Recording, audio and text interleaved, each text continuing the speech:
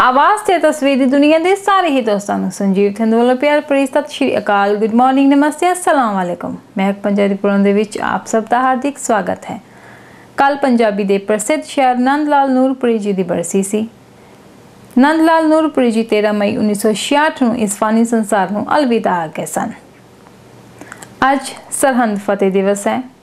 14 ਮਈ 1710 ਨੂੰ ਬਾਬਾ ਬੰਦਾ ਸਿੰਘ ਬਹਾਦਰ ਨੇ ਸਰਹੰਦ ਸੂਬਾ ਵਜ਼ੀਰ ਖਾਨ ਨੂੰ ਛੋਟੇ ਸਾਹਿਬਜ਼ਾਦਿਆਂ ਦੀ ਕਤਲ ਦੀ ਸਜ਼ਾ ਦੇ ਕੇ ਬਦਲਾ ਲਿਆ ਸੀ।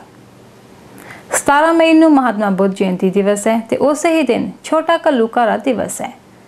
ਆਓ ਪ੍ਰੋਗਰਾਮ ਦਾ ਆਗਾਜ਼ ਕਰਦੇ ਇੱਕ ਸ਼ਬਦ ਦੇ ਨਾਲ, ਜਿਸ ਨੂੰ ਲੈ ਕੇ ਪੇਸ਼ ਹੋ ਰਹੇ ਹਨ ਖਾਲਸਾ ਸਕੂਲ, ਸਰੀ ਦੇ ਵਿਦਿਆਰਥੀ।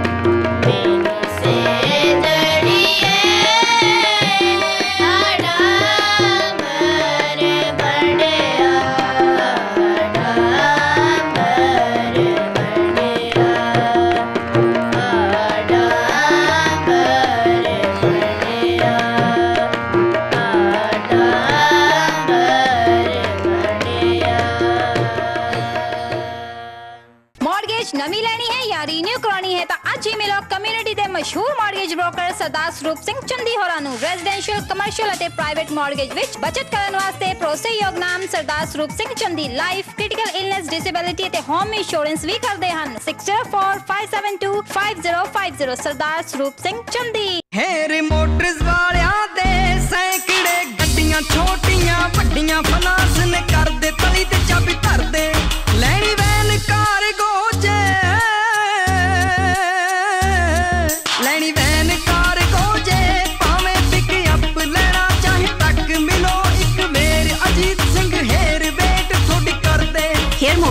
12375 King George Highway, Surrey. Call 580-7755. Hare motors ਵਾਲਿਆਂ ਆਪਣੀਆਂ ਰੀਅਲ ਏਸਟੇਟ ਦੀਆਂ ਲੋੜਾਂ ਵਾਸਤੇ ਯਾਦ ਰੱਖੋ ਇੱਕੋ ਇੱਕ ਨਾਮ ਭੁਪਿੰਦਰ ਲੇਟ ਜਿਨ੍ਹਾਂ ਦੇ ਕੋਲ ਪਿਛਲੇ 18 ਸਾਲਾਂ ਦਾ ਤਜਰਬਾ ਹੈ ਪ੍ਰਾਪਰਟੀ ਲੈਣੀ ਜਾਂ ਵੇਚਣੀ ਹੋਵੇ ਕਮਰਸ਼ੀਅਲ ਜਾਂ ਰੈਜ਼ੀਡੈਂਟ ਹੋਵੇ ਪੈਸੇ ਅਤੇ ਸਮੇਂ ਦੀ ਬਚਤ ਵਾਸਤੇ ਭਰੋਸੇਯੋਗ ਨਾਮ ਭੁਪਿੰਦਰ ਲੇਟ ਸੰਪਰਕ ਪੈਦਾ ਕਰਨ ਲਈ ਫੋਨ ਕਰੋ 604 671 1630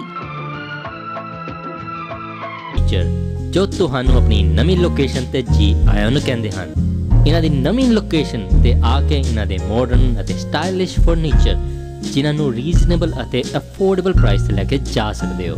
ਅੱਜ ਹੀ ਪਹੁੰਚੋ B&B ਫਰਨੀਚਰ ਦੀ ਨਵੀਂ ਲੋਕੇਸ਼ਨ 12732 80 ਐਵਨਿਊ ਸਰੀ ਵਿੱਚ। ਪਰੇਸ਼ਾਨ ਕਿਉਂ ਹੋ? ਰਿਫਿਊਜੀ ਕੇਸ ਜਾਂ ਮਾਂ-ਬਾਪ ਦੀ ਸਪਾਂਸਰਸ਼ਿਪ ਐਪਲੀਕੇਸ਼ਨ ਫੇਲ ਹੋ ਗਈ ਹੈ ਜਾਂ ਘਰਵਾਲੀ ਦੀ ਸਪਾਂਸਰਸ਼ਿਪ ਐਪਲੀਕੇਸ਼ਨ ਜਾਂ ਅਪੀਲ ਫੇਲ ਹੋ ਗਈ ਹੈ, ਤਾਂ ਇਹਨਾਂ ਸਾਰੀਆਂ ਸਮੱਸਿਆਵਾਂ ਦੇ ਹੱਲ ਵਾਸਤੇ ਮਿਲੋ ਖਾਨ ਸਾਹਿਬ। ਇਹ work permit PNP skill worker ਅਤੇ ਇਨਵੈਸਟਮੈਂਟ ਕੈਟਾਗਰੀ ਵਿੱਚ ਐਕਸਪਰਟ ਹਨ। ਮਮਤਾਜ ਖਾਨ ਸਾਹਿਬ ਦੀ ਲੋਕੇਸ਼ਨ ਦਾ ਐਡਰੈਸ ਹੈ unit 213 8343128 street Surrey phone number 604 591 5824 Punjabi comedy king Bhagwant Mann ji, ਜਿਨ੍ਹਾਂ ਨੇ ਕਾਮੇਡੀ ਛੱਡ ਕੇ ਪੰਜਾਬ ਦੀ ਰਾਜਨੀਤੀ ਵਿੱਚ ਪੈਰ ਰੱਖਿਆ ਹੈ ਅਤੇ ਜੋ ਕਿ ਪੰਜਾਬ ਪੀਪਲਸ ਪਾਰਟੀ ਵਿੱਚ ਸ਼ਾਮਿਲ ਹੋ ਗਏ ਹਨ।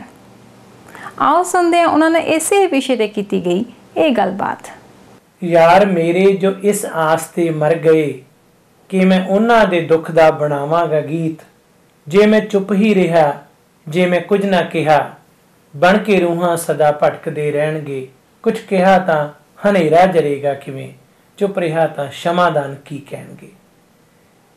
ਅੱਜ ਦੇ ਪ੍ਰੋਗਰਾਮ 'ਚ ਸਭ ਤੋਂ ਪਹਿਲਾਂ ਆਪ ਸਾਰੇ ਦਰਸ਼ਕਾਂ ਦਾ ਹਾਰਦਿਕ ਧੰਨਵਾਦ ਜੀ ਆਇਆਂ ਨੂੰ। ਅੱਜ ਇੱਕ ਐਸੀ ਸ਼ਖਸੀਅਤ ਨਾਲ ਤੁਹਾਡੀ ਮੁਲਾਕਾਤ ਕਰਵਾ ਰਹੇ ਹਾਂ ਜਿਨ੍ਹਾਂ ਨੂੰ ਪੰਜਾਬੀ ਵਿਅੰਗ ਖੇਤਰ ਦੇ ਵਿੱਚ ਨਾਟਕਾਂ ਫਿਲਮਾਂ ਅਤੇ ਵੱਖ-ਵੱਖ ਤਰ੍ਹਾਂ ਦੇ ਮਨੋਰੰਜਨ ਭਰਪੂਰ ਅ, ਸ਼ੋਆਂ ਦੇ ਵਿੱਚ ਤੁਸੀਂ ਤੱਕਿਆ ਅਤੇ ਉਹਨਾਂ ਦੀ ਕਾਮੇਡੀ ਦਾ ਆਨੰਦ ਮਾਣਿਆ ਅਤੇ ਵਿਸ਼ਾ ਵਸਤੂ ਹਮੇਸ਼ਾ ਹੀ ਸਮਾਜ ਸੁਧਾਰ ਦਾ ਰਿਹਾ। ਉਸ ਸਮਾਜ ਸੁਧਾਰਕ ਨੂੰ ਸਿਆਸਤ ਦੇ ਖੇਤਰ ਦੇ ਵਿੱਚ ਪ੍ਰਵੇਸ਼ ਕਰਨ ਤੋਂ ਬਾਅਦ ਇਸ ਪ੍ਰੋਗਰਾਮ ਦੇ ਰਾਹੀਂ ਤੁਹਾਡੇ ਰੂਬਰੂ ਕਰ ਰਹੇ ਹਾਂ। ਸਾਡੀ ਮੁਰਾਦ ਹੈ ਉੱਗੇ ਕਮੇਡੀਅਨ ਭਗਵੰਤ ਮਾਨ ਜੀ ਤੋਂ ਜੋ ਕਿ ਵੈਨਕੂਵਰ ਦੀ ਫੇਰੀ ਤੇ ਨੇ। ਸਭ ਤੋਂ ਪਹਿਲਾਂ ਮਾਨ ਸਾਹਿਬ ਸਮੂਹ ਦਰਸ਼ਕਾਂ ਵੱਲੋਂ ਤੁਹਾਨੂੰ ਜੀ ਆਇਆਂ ਨੂੰ ਸਵਾਗਤ। ਮੇਰੇ ਵੱਲੋਂ ਵੀ ਜੀ ਸਾਰੇ ਦਰਸ਼ਕਾਂ ਨੂੰ ਜਿਹੜੇ ਇਸ ਵਕਤ ਦੇਖ ਰਹੇ ਨੇ ਪਿਆਰ ਭਰੀ ਸਤਿ ਸ੍ਰੀ ਅਕਾਲ ਸਤਿ ਸ੍ਰੀ ਅਕਾਲ। ਮਾਨ ਸਾਹਿਬ ਇੱਕ ਕਲਾਕਾਰ ਜਦੋਂ ਸਿਆਸਤਦਾਨ ਬਣਦਾ ਹੈ ਤੇ ਉਸ ਦੀਆਂ ਭਾਵਨਾਵਾਂ ਜਿਹੜੀਆਂ ਬਦਲਦੀਆਂ ਨੇ ਉਸ ਦੀ ਇੱਕ ਮਿਸਾਲ ਤੁਸੀਂ ਹੋ। ਤੁਹਾਡੀ ਜ਼ੁਬਾਨੀ ਅਸੀਂ ਸਭ ਤੋਂ ਪਹਿਲਾਂ ਤੁਹਾਡੀ ਜਿਹੜੀ ਸੰਘਰਸ਼ ਦੀ ਜ਼ਿੰਦਗੀ ਕਲਾਤਮਕ ਖੇਤਰ ਤੇ ਫਿਰ ਅਗਲਾ ਪੜਾਅ ਸਿਆਸਤ ਦਾ ਉਸ ਦੇ ਬਾਰੇ ਪਹਿਲਾਂ ਸੰਖੇਪ ਜੀ ਜਾਣਕਾਰੀ ਚਾਹਾਂਗੇ। ਮੈਂ ਜੀ ਜਿਸ ਤਰ੍ਹਾਂ ਸਾਰੇ ਜਾਣਦੇ ਨੇ ਕਿ ਮੈਂ ਸੰਗਰੂਰ ਜ਼ਿਲ੍ਹੇ ਦੇ ਜੀ। ਸੁਨਾਮ ਦੇ ਨੇੜੇ ਸਾਡਾ ਪਿੰਡ ਹੈ ਸਤੌਜ। ਜੀ। ਬੜਾ ਠੇਠ ਮਾਲਵੇ ਦਾ ਬਚਪਨ ਮੇਰਾ ਬੀਤਿਆ। ਜਿਸ ਤਰ੍ਹਾਂ ਮਾਲਵੇ ਦੇ ਬੱਚਿਆਂ ਦਾ ਲਿਬੜਿਆ ਤਿਬੜਿਆ ਰੇਤਿਆਂ ਨਾਲ ਖੇਡਦਾ ਹਨਾ ਗਲੀਆਂ 'ਚ ਸੱਥਾਂ 'ਚ। ਤੇ ਉਸ ਤੋਂ ਬਾਅਦ ਕਾਲਜ ਸ਼ਹੀਦ ਉਦਮ ਸਿੰਘ ਗਵਰਨਮੈਂਟ ਕਾਲਜ ਸੁਨਾਮ 'ਚ ਮੈਂ ਪੜ੍ਹਦਾ ਸੀ ਤੇ ਪੜ੍ਹਦੇ ਪੜ੍ਹਦੇ ਹੀ ਯੂਥ ਫੈਸਟੀਵਲਾਂ ਤੋਂ ਮੇਰੀਆਂ ਕੈਸਟਾਂ ਦਾ ਸਿਲਸਿਲਾ ਸ਼ੁਰੂ ਹੋ ਗਿਆ। ਜੀ। ਤੇ ਕੁਲਫੀ ਗਰਮਾ ਗਰਮ ਮਿੱਠੀਆਂ ਮਿਰਚਾਂ ਕੋਕੋ ਦੇ ਬੱਚੇ। ਜੀ। ਤੇ ਮੈਨੂੰ ਕੁਝ ਵੀ ਨਹੀਂ ਪਤਾ ਸੀ ਕਿ ਸ਼ੋਹਰਤ ਕੀ ਹੁੰਦੀ ਹੈ। ਜੀ। ਪੰਜਾਬੀਆਂ ਦੇ ਪਿਆਰ ਨੇ ਮੈਨੂੰ ਇਸ ਲੈਵਲ ਤੇ ਪਹੁੰਚਾਇਆ। ਤੇ ਉਸ ਤੋਂ ਬਾਅਦ ਜਿੰਨਾ ਚੱਲ ਸੋ ਚੱਲ ਸਫ਼ਰ ਚੱਲਿਆ। ਜੀ। ਔਰ ਜਿੰਨਾ ਮੇਰਾ ਕੈਰੀਅਰ 17 18 ਸਾਲ ਦਾ ਕੈਰੀਅਰ ਹੋ ਗਿਆ ਮੇਰਾ। ਉਹਦੇ ਵਿੱਚ ਜਿੰਨਾ ਵੀ ਮੈਂ ਕਾਮੇਡੀ ਕੀਤੀ ਹੈ ਜਿਸ ਤਰ੍ਹਾਂ ਤੁਸੀਂ ਪਹਿਲਾਂ ਕਿਹਾ ਇੱਕ ਵਿਅੰਗ ਹੁੰਦਾ ਸੀ। ਮੈਂ ਮੇਰੀ ਸੋਚ ਸੀ ਕਿ ਹਸਾਉਣ ਦੇ ਨਾਲ ਨਾਲ ਜੀ। ਕੋਈ ਸੁਨੇਹਾ ਵੀ ਦੇਈਏ ਸਮਾਜ ਨੂੰ ਸੇਧ ਦੇਣ ਵਾਲਾ ਜਾਂ ਸਮਾਜਿਕ ਬੁਰਾਈਆਂ ਤੇ ਬਿਆਨ ਕਰਦੇ ਕਰਦੇ ਨਾਲ ਹੱਸਣ ਦੇ ਨਾਲ ਨਾਲ ਥੋੜਾ ਜਿਹਾ ਸੋਚਣ ਤੇ ਵੀ ਮਜਬੂਰ ਕਰੀਏ ਤਾਂ ਸ਼ਾਇਦ ਜ਼ਿਆਦਾ ਵਧੀਆ ਤਰੀਕੇ ਨਾਲ ਉਹ ਮੈਸੇਜ ਐਂਟਰਟੇਨਮੈਂਟ ਦੇ ਤੜਕੇ ਚਲਾ ਜਾਂਦਾ। ਹੈ। ਤੇ ਉਸ ਤੋਂ ਬਾਅਦ ਚੱਲਦੇ ਚੱਲਦੇ ਗਏ ਤੇ ਮੇਰਾ ਪਹਿਲੇ ਦਿਨੋਂ ਇੰਟਰਸਟ ਸੀਗਾ ਕਿ ਮੈਂ ਸਾਡੇ ਰਾਜਨੀਤਿਕ ਢਾਂਚੇ 'ਚ ਜਿਹੜੀਆਂ ਗਿਰਾਵਟਾਂ ਜਾਂ ਜਿਹੜੀਆਂ ਕਮੀਆਂ ਦੇਖਦਾ ਸੀ ਮੈਂ ਉਹਨਾਂ ਨੂੰ ਮੇਰੇ ਮਨ 'ਚ ਸੀ ਬਲਬਲੇ ਕਿ ਮੈਂ ਉਹਨਾਂ ਨੂੰ ਦੂਰ ਕਰ ਕਰਨ 'ਚ। ਯੋਗਦਾਨ ਪਾਵਾਂ। ਪਰ ਜਿਹੜਾ ਮੇਰਾ ਐਂਟਰਟੇਨਮੈਂਟ ਦਾ ਫੀਲਡ ਸੀ ਜਿਹੜਾ ਮੈਂ ਕਾਮੇਡੀ ਵਾਲਾ ਉਹਦੇ 'ਚ ਮੈਂ ਬਥੇਰਾ ਪੋਲੀਟੀਕਲ ਸਿਸਟਮ ਤੇ ਕਰਪਸ਼ਨ ਤੇ ਪੁਲਿਸ ਤੇ ਲਾਇਆ। ਪਰ ਉਹ ਇੱਕ ਮਜ਼ਾਕ ਤੱਕ ਸੀਮਤ ਰਹਿ ਜਾਂਦਾ ਸੀ। ਜੀ। ਇੰਪਲੀਮੈਂਟ ਨਹੀਂ ਹੁੰਦੀ ਸੀ ਮੇਰੀ ਸੋਚ ਨਹੀਂ ਜਿਹੜੀ। ਨਹੀਂ ਨਹੀਂ ਉਹੀ ਲੀਡਰ ਸੁਣਦੇ ਵੀ ਸੀਗੇ ਪਰ ਉਹ ਹੱਸ ਕੇ ਸਾਰ ਦਿੰਦੇ ਸੀ। ਤੇ ਉਸ ਤੋਂ ਬਾਅਦ ਮੇਰੇ ਦਿਲ 'ਚ ਬੜੇ ਅਮ, ਧੁਖਦਾ ਰਹਿੰਦਾ ਸੀ ਮੈਂ। ਕਿ ਮੈਂ ਰਾਜਸੀ ਪਾਵਰ ਤੋਂ ਬਿਨਾ ਰਾਜਨੀਤਿਕ ਸ਼ਕਤੀ ਤੋਂ ਬਿਨਾ ਤੁਸੀਂ ਸਿਸਟਮ ਨੂੰ ਚੇਂਜ ਕਰਨ ਬਾਰੇ ਸੋਚ ਵੀ ਨਹੀਂ ਸਕਦੇ। ਜੀ। ਖਾਸ ਤੌਰ ਤੇ ਸਾਡੇ ਮੁਲਕ ਦੇ ਵਿੱਚ। ਤੇ ਉਹ ਪਾਰਟੀਆਂ 'ਚ ਮੈਂ ਜਾਣਾ ਨਹੀਂ ਚਾਹੁੰਦਾ ਸੀ ਜਿਨ੍ਹਾਂ 'ਚ ਉਹੀ ਬੈਠੇ ਸੀ ਜੀ। ਜਿ- ਜਿਨ੍ਹਾਂ ਬਾਰੇ ਮੈਂ ਕੈਸਟਾਂ 'ਚ ਗੱਲਾਂ ਕਰਦਾ ਸੀ। ਜਿਸ ਤੋਂ ਜਦੋਂ ਤੋਂ ਮਨਪ੍ਰੀਤ ਬਾਦਲ ਜੀ ਹੋਰੀ ਅਲੱਗ ਹੋਏ ਉਹਨਾਂ ਨੇ ਸ਼ਹੀਦਾਂ ਦੀ ਸੋਚ ਦਾ ਉਹਨਾਂ ਦੇ ਸੁਪਨਿਆਂ ਦਾ ਝੰਡਾ ਚੁੱਕਿਆ। ਤਾਂ ਮੇਰੇ ਦਿਲ 'ਚ ਘੰਟੀ ਵੱਜੀ ਕਿ ਸ਼ਾਇਦ ਦੋ ਸੋਚਾਂ ਹੁਣ ਮਿਲ ਜਾਣਗੀਆਂ। ਤੇ ਉਹਨਾਂ ਨੇ ਮੈਨੂੰ ਅਪਰੋਚ ਕੀਤਾ ਤੇ ਮਿਲੇ ਅਸੀਂ। ਇੱਕ ਦੋ ਜਿਹੜੀਆਂ ਮੇਰੇ ਦਿਲ 'ਚ ਗੱਲਾਂ ਸੀ ਮੈਂ ਕਲੀਅਰ ਕੀਤੀਆਂ। ਤੇ ਉਸ ਤੋਂ ਬਾਅਦ ਮੈਂ ਸਿਆਸਤ ਦੇ ਵਿੱਚ ਸਰਗਰਮ ਸਿਆਸਤ ਦੇ ਵਿੱਚ ਮੈਂ ਆਇਆ। ਔਰ ਮੈਂ ਇਹ ਕਹਿਣਾ ਕਿ ਜੇ ਨਰਮੇ ਨੂੰ ਜਾਂ ਝੋਨੇ ਨੂੰ ਜੀ। ਕਣਕ ਨੂੰ ਕੋਈ ਸੁੰਡੀ ਲੱਗ ਜਾਂਦੀ ਹੈ ਜਾਂ ਤੇਲਾ ਲੱਗ ਜਾਂਦਾ ਤਾਂ ਪ੍ਰੋਫੈਸਰ ਸਾਹਿਬ ਬਾਹਰੋਂ ਰੋੜੇ ਮਾਰ ਕੇ ਜਾਂ ਰੌਲਾ ਪਾ ਕੇ ਸੁੰਡੀ ਨਹੀਂ ਹਟਦੀ ਉਹਦੇ ਵਾਸਤੇ ਸਪਰੇਅ ਦੀ ਢੋਲੀ ਮੋਢੇ ਤੇ ਰੱਖ ਕੇ ਅੰਦਰ ਵੜਨਾ ਪੈਂਦਾ। ਸੋ ਜੇ ਤੁਸੀਂ ਜੇ ਤੁਸੀਂ ਕਿਸੇ ਸਿਸਟਮ ਨੂੰ ਚੇਂਜ ਕਰਨਾ ਚਾਹੁੰਦੇ ਹੋ, ਤੁਹਾਨੂੰ ਉਹ ਐਂਟਰ ਕਰਨਾ ਪਊ ਸਿਸਟਮ ਦੇ। ਵਿੱਚ ਸੋ ਮੈਂ ਉਸ ਮਕਸਦ ਨਾਲ ਆਇਆ ਕਿ ਮੈਂ ਜੋ ਲੋਕ ਪੱਖੀ ਪਹਿਲਾਂ ਵੀ ਕਾਮੇਡੀ ਕਰਦਾ ਰਿਹਾ ਹੁਣ ਮੈਂ ਲੋਕ ਪੱਖੀ ਸਿਆਸਤ ਕਰੂੰਗਾ ਤਾਂ ਕਿ ਮੈਨੂੰ ਪਤਾ ਹੈ ਕਿਉਂਕਿ ਮੈਂ ਬਹੁਤ ਗਰਾਊਂਡ ਲੈਵਲ ਤੋਂ ਆਇਆ ਮੈਂ ਪੱਖਿਆਂ ਦੀਆਂ ਜੈਨ ਡੋਰੀਆਂ ਬਦਲ ਕੇ ਆਇਆ। ਮੈਂ ਦੋ ਵੀਲਾਂ ਵਾਲੇ ਇੰਜਨ ਦੇ ਸਿਲੈਂਸਰ ਕੋਲੇ ਸਾਹਮਣੇ ਮੰਜਾ ਢਾ ਕੇ ਮੱਛਰਦਾਨੀ ਲਾ ਕੇ ਸੁੱਤਾ ਹੋਇਆ ਝੋਨੇ ਨੂੰ ਪਾਣੀ ਲਾਉਣ ਵੇਲੇ। ਸੋ ਮੈਨੂੰ ਪਤਾ ਹੈ ਕਿ ਸਾਡੇ ਪਿੰਡਾਂ ਦੀਆਂ ਦੁਸ਼ਵਾਰੀਆਂ ਮੁਸ਼ਕਲਾਂ ਕੀ ਨੇ? ਸੋ 64 ਸਾਲ ਆਜ਼ਾਦ ਹੋਏ ਨੂੰ ਹੋ ਕੇ ਮੁਲਕ ਨੂੰ। ਅਜੇ ਵੀ ਅਸੀਂ ਗਲੀਆਂ ਨਾਲੀਆਂ ਤੇ ਸ਼ਮਸ਼ਾਨ ਘਾਟਾਂ ਦੀਆਂ ਕੰਧਾਂ ਵਾਸਤੇ ਗ੍ਰਾਂਟਾਂ ਮੰਗੀਆਂ ਨੇ। ਸਾਨੂੰ ਸਕੂਲ ਸਾਨੂੰ ਹਸਪਤਾਲ ਸਾਨੂੰ ਜਿਹੜਾ ਇੰਡਸਟਰੀ ਜਾਂ ਸਾਨੂੰ ਜਿਹੜੀ ਪੜ੍ਹਾਈ ਬਾਰੇ ਦੱਸਿਆ ਹੀ ਨਹੀਂ ਗਿਆ ਸਾਡੇ ਸਿਆਸਤਦਾਨਾਂ ਵੱਲੋਂ। ਸੋ ਮੈਂ ਚਾਹੁੰਦਾ ਕਿ ਮੇਰੇ ਪਿੰਡ ਮੈਂ ਜੇ ਆਪਦੇ ਪਿੰਡ ਨੂੰ ਵੀ ਪੰਜਾਬ ਮੰਨ ਲਾਂ। ਤਾਂ ਬਿਲਕੁਲ ਸਹੀ ਉਦਾਹਰਨ ਹੈ ਅੱਜ ਤੋਂ 15 ਸਾਲ ਪਹਿਲਾਂ। ਜਿਹੜੇ ਵੱਡੇ ਟਰੈਕਟਰਾਂ ਵਾਲੇ ਜ਼ਿਮੀਂਦਾਰ ਸੀ ਪ੍ਰੋਫੈਸਰ ਸਾਹਿਬ ਅੱਜ ਉਹ ਕੋਈ ਸਾਈਕਲ ਤੇ ਸਬਜ਼ੀ ਵੇਚਦਾ ਹੈ ਕੋਈ ਸ਼ੈਲਰ ਦੇ ਵਿੱਚ ਚੌਕੀਦਾਰ ਲੱਗਿਆ ਹੈ ਕੋਈ ਲੇਬਰ ਚੌਕ 'ਚ ਖੜਦਾ ਹੈ ਵੀ ਉਹਨੂੰ ਕੋਈ ਦਿਹਾੜੀ ਤੇ ਲੈ ਜੇ ਸੋ ਇੰਡੀਆ ਤੇ ਭਾਰਤ ਦਾ ਜਿਹੜਾ ਫ਼ਰਕ ਹੈ। ਨਾ ਮੈਂ ਉਸ ਗੈਪ ਨੂੰ ਪੂਰਾ ਕਰਨਾ ਚਾਹੁੰਦਾ। ਸੋ ਉਸ ਤੋਂ ਬਾਅਦ ਮੇਰੀ ਸਿਆਸਤ ਦੇ ਵਿੱਚ ਐਂਟਰੀ ਹੋਈ ਹੈ ਔਰ ਮੈਨੂੰ ਇਸ ਗੱਲ ਦਾ ਬੜਾ ਖੁਸ਼ੀ ਤੇ ਸਕੂਨ ਮਹਿਸੂਸ ਹੁੰਦਾ ਕਿ ਮੈਨੂੰ ਪਬਲਿਕ ਨੇ ਇੱਕਦਮ ਅਸੈਪਟ ਕਰ ਲਿਆ ਮੈਨੂੰ ਵਧਾਈਆਂ ਦੇ ਫੋਨ ਆਏ ਨੇ। ਉਹ ਕਹਿੰਦੇ ਵੀ ਤੁਸੀਂ ਪਹਿਲਾਂ ਜਿਸ ਤਰ੍ਹਾਂ ਚੱਲਦੇ ਸੀ ਉਸ ਤਰ੍ਹਾਂ। ਸੋ ਮੇਰੀ ਇਮੇਜ ਇੱਕ ਐਂਟਰਟੇਨਰ ਨਾਲੋਂ ਸੋਸ਼ਲ ਕ੍ਰਿਟਿਕ ਦੀ ਜ਼ਿਆਦਾ ਸੀ। ਸੋ ਮੈਨੂੰ ਲੋਕੀ ਆਪਣੀਆਂ ਦੁਸ਼ਵਾਰੀਆਂ ਨੂੰ, ਆਪਣੀਆਂ ਮੁਸ਼ਕਲਾਂ ਨੂੰ ਸਰਕਾਰਾਂ ਦੇ ਕੰਨਾਂ ਤੱਕ ਪਹੁੰਚਾਉਣ ਦਾ ਇੱਕ ਜ਼ਰੀਆ ਮੰਨਦੇ ਸੀ। ਸੋ ਉਹੀ ਕੰਮ ਮੈਂ ਹੁਣ ਸਿਆਸਤ ਦੇ ਵਿੱਚ ਕਰੂੰਗਾ। ਇੱਕ ਵਾਰ ਫਿਰ ਰਿਮਾਈਂਡਰ ਦੇ ਤੌਰ ਤੇ ਆਪਣੀ ਮੋਰਗੇਜ ਇੰਸ਼ੋਰੈਂਸ ਬਾਰੇ ਮੈਂ ਰਿਮਾਈਂਡਰ ਦੇਣਾ ਚਾਹਾਂਗਾ। ਕਿਉਂਕਿ ਮੌਸਮ ਇਦਾਂ ਦਾ ਆ ਰਿਹਾ ਹੈ ਘਰ-ਬਾਰ ਅਸੀਂ ਹੁਣ ਛੇਤੀ ਲੈਣੇ ਗਰਮੀਆਂ 'ਚ। ਤੇ ਜਦੋਂ ਵੀ ਅਸੀਂ ਘਰ ਲੈਣਾ ਹੈ ਬੈਂਕ ਵਾਲਿਆਂ ਦੀ ਕੋਸ਼ਿਸ਼ ਹੁੰਦੀ ਹੈ ਕਿ ਜਦੋਂ ਤੁਸੀਂ ਮੋਰਗੇਜ ਲਓ ਤੇ ਉਹਨਾਂ ਤੋਂ ਹੀ ਇੰਸ਼ੋਰੈਂਸ ਕਰਵਾ ਲਓ। ਇਹ ਚੀਜ਼ ਇੱਕ ਰਿਮਾਈਂਡਰ ਦੇ ਤੌਰ ਤੇ ਹੈ ਕਿ ਆਪਣੀ ਪਰਸਨਲ ਇੰਸ਼ੋਰੈਂਸ ਕਰਵਾਓ, ਨਾ ਕਿ ਬੈਂਕ ਨਾਲ ਆਪਣੀ ਇੰਸ਼ੋਰੈਂਸ ਨੂੰ ਅਟੈਚ ਕਰੋ। ਬੈਨੀਫਿਟ ਕਾਫੀ ਨੇ ਆਪਣੀ ਪਰਸਨਲ ਇੰਸ਼ੋਰੈਂਸ ਦੇ। ਇੱਕੋ ਜਿਹਾ ਬੈਨੀਫਿਟ ਰਹੂਗਾ ਮੈਡੀਕਲ ਅਪਫਰੰਟ ਕੀਤਾ ਜਾਊਗਾ ਬੈਨੀਫੀਸ਼ੀਅਰੀ ਆਪਣੀ ਮਰਜ਼ੀ ਦਾ ਚੂਜ਼ ਕਰ ਸਕਦੇ ਹੋ। ਇੱਕੋ ਜੀ ਇੰਸ਼ੋਰੈਂਸ ਜਿੰਨਾ ਤੁਸੀਂ ਸਮਾਂ ਚਾਹੋਗੇ 20 ਸਾਲ 25 ਸਾਲ 30 ਸਾਲ 40 ਸਾਲ ਤੱਕ ਦੀ ਸਾਡੇ ਕੋਲ ਟਰਮ ਇੰਸ਼ੋਰੈਂਸ ਹੈਗੀ ਹੈ। ਹੋਰ ਸਭ ਤੋਂ ਖੁਸ਼ਖਬਰੀ ਗੱਲ, ਸਾਡੇ ਕੋਲ ਮਨੀ ਬੈਕ ਇੰਸ਼ੋਰੈਂਸ ਆਈ ਹੈ ਟਰਮ ਇੰਸ਼ੋਰੈਂਸ ਤੁਹਾਡੀ ਟਰਮ ਪੂਰੀ ਹੋਣ ਤੋਂ ਬਾਅਦ, ਯਾਨੀ 20 ਸਾਲ ਤੋਂ ਬਾਅਦ, ਸਾਰਾ ਤੁਹਾਡਾ ਪ੍ਰੀਮੀਅਮ ਵੀ ਵਾਪਸ ਕਰ ਦਿੱਤਾ ਜਾ ਸਕਦਾ ਹੈ। ਜੇ ਹਾਲੇ ਤੱਕ ਕੋਈ ਇੰਸ਼ੋਰੈਂਸ ਨਹੀਂ ਕਰਵਾਈ ਜਾਂ ਘਰ-ਬਾਰ ਲੈਣ ਲੱਗੇ ਹੋ, ਤਾਂ ਡੈਫੀਨਿਟਲੀ ਸਾਨੂੰ ਕਾਲ ਕਰੋ। ਅਸੀਂ ਥੋੜੇ ਪੈਸੇ 'ਚ ਤੁਹਾਨੂੰ ਵਧੀਆ ਇੰਸ਼ੋਰੈਂਸ ਲੈਣ 'ਚ ਤੁਹਾਡੀ ਹੈਲਪ ਕਰਾਂਗੇ। Hare motors